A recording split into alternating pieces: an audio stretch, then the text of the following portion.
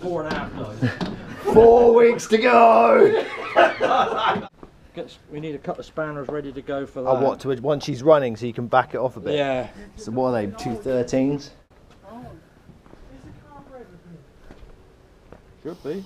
No leaks, I mean. Right. Right, ignition.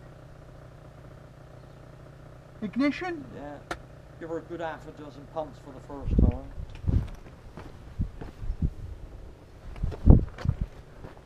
Here we go.